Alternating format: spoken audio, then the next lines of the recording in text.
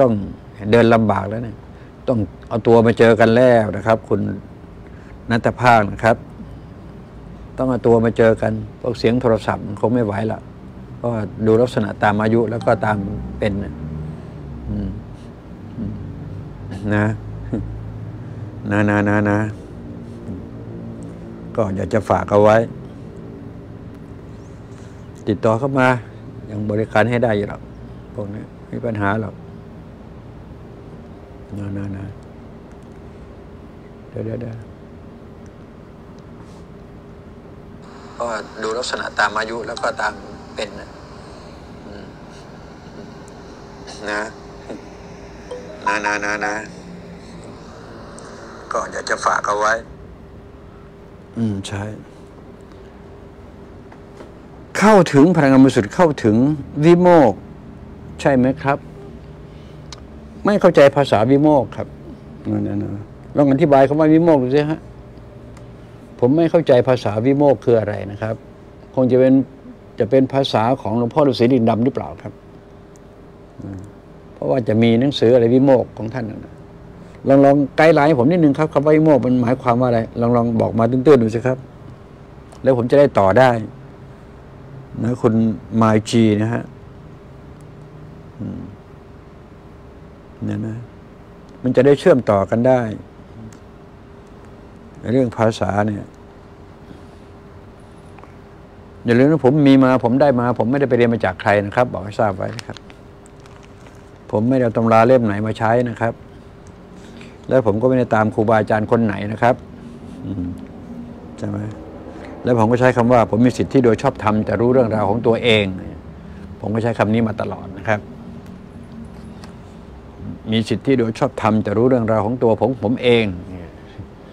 มีสิทธิโดยชอบธรรมจะรู้เรื่องราวของพ่อของผมแม่ของผมปู่ย่าตายายของผมอย่างเงี้ยแต่พี่น้องไม่เกี่ยวนะที่ว่าเนี่ย ลูกเมียก็ไม่เกี่ยวด้วยเห็นไหมลูกสาวแม่ยาย หลานแม่ยายของลุงก็ไม่เกี่ยวนะครับรู้แต่ของลุงกับพ่อแม่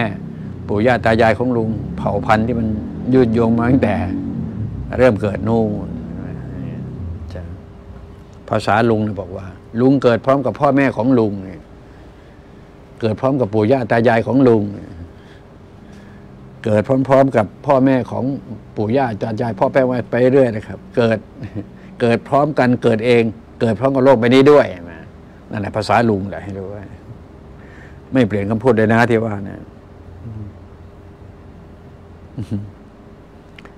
พระอันเลาะคือสมเด็จองค์ปฐมใช่ไหมครับ โอ้ อย่างนี้ไม่สามารถอธิบายได้นี่อย่างนี้ต้องบอกว่าไม่รู้เลยครับ ใช่ไหมครับ ต้องบอกว่าไม่รู้ครับ คุณเดียนะฮะ ยอมคำถามนี้แล้วจะ ถ้าจะบอกว่าพระอันเลาะคืออะไร ลุงก็บอกว่าคือสิ่งที่บริสุทธิ์ หรือถ้าหากว่าจะเริ่มต้นในเชิงกันกึ่งทะเลาะกัน พระเลาะคือภาษากึ่งทะเลาะกัน แต่ยังไม่ใช่ทะเลาะนะพระเลาะคือภาษา ภาษาคือสิ่งสมมุติใช่ไหมนะพระอัลเลาะห์มันต้องเลยภาษาใช่ไหมไม่มีภาษานะสิ่งนั้นมันคืออะไรทีเนี้ยลุงบอกว่าคำว่าพระธรรมที่พระพุทธเจ้าค้นพบ กับคำว่าพระเจ้า ที่ชาวโลกพูดถึง และคำว่าพระอรที่ชาวโลกพูดถึงเช่นเดียวกันสามสิ่งนี้คือสิ่งเดียวกันเห็นไหมครับ แต่สำหรับลุงถอยมาหนึ่งเก้าลุงบอกว่าสำหรับของลุงนะ คือพลังงานที่บริสุทธิ์สำหรับลุงคือตรงนี้เองนะครับ พอเข้าใจได้ไหมครับ จะไปอ้างใส่เข้าไปยังสมเด็จองค์ปฐมอย่างนั้นลุงก็ไปแทบที่นี่ครับ เพราะไม่ใช่ภาษาของลุง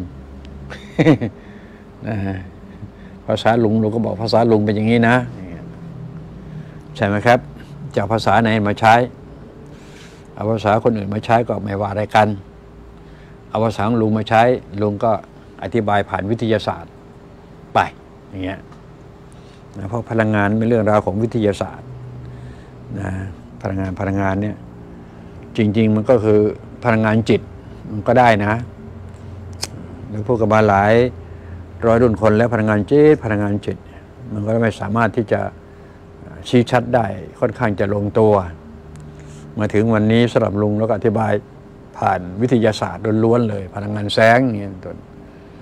พลังงานบริสุทธิ์ซ่อนอยู่ในแสง ยังไม่พอพลังงานบริสุทธิ์ซ่อนอยู่ในโฟตอนของแสงเห็นไหมยังละเอียดยิบอีกทีหนึ่งดูสินี่คือภาษาลุง